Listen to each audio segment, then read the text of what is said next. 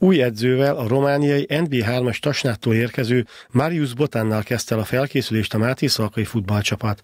Az őszi szezonban a vártnál gyengében szereplő együttes heti három edzésen igyekezett erőt gyűjteni a tavaszi menetelésre, sőt még egy nyírbátori edzőtábort is beiktatott a felkészülési időszakba.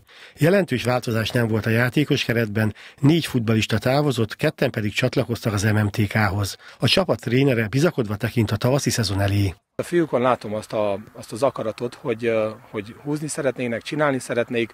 Ők is érzik azt a valamilyen szinten ezt a nyomást, hogy nem pont ott vannak abba, az, abba a pozícióban a bajnokin, ahol a táblázatban, ahol szeretnének, szeretnék ők is, de viszont mondom, bizakodóan nézek előre. A csapatot úgy látom, hogy nagyon összetartó, fiatal, most még sikerült egy kicsit erősítsünk ebbe a periódusba két két rutinosabb játékossal.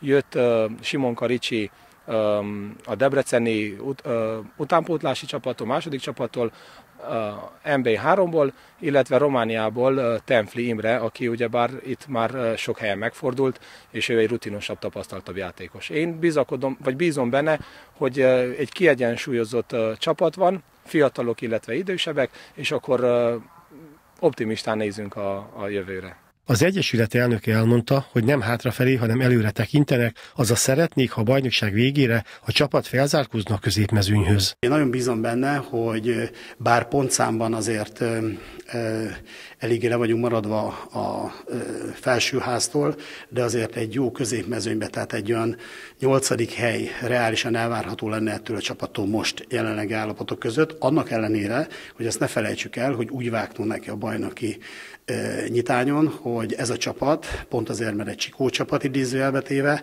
motiválták, én tegyük, ennek a csapatnak a bajnoki tabellának az első felébe, azaz inkább ott a 6-8. hely valamelyiken kellene, hogy posztoljon. Tehát én még most sem tartom reménytelennek ennek a kitűzött célnak az alsó határának az elérését. A tabellán jelenleg 13. helyen álló Máté Szalkai MTK a tavaszi nyitófordulóban vasárnap a 15. rakam az otthonában lép pályára.